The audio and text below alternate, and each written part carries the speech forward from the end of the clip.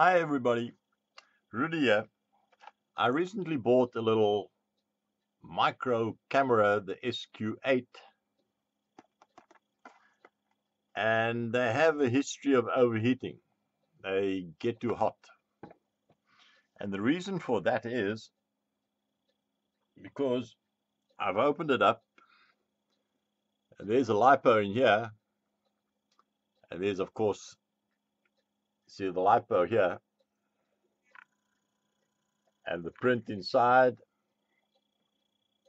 Very nice and it's got a metal case. And normally it's all closed up. It's all closed up. You think this is a ventilation opening at the back here but it's all closed up. That's just for show so what I thought, because this thing doesn't really get nice and hot, you know, little little lipos get hot. And so what I did, I thought I'll get my Dremel tool out, my Dremel, and I'll drill some little holes in the sides and at the bottom, all around. So hopefully it can ventilate.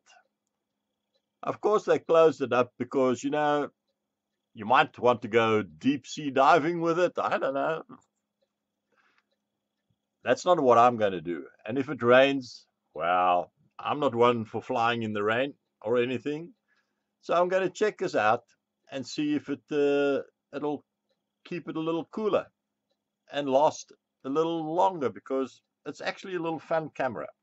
Okay, just to show you that. Have a good day. Bye.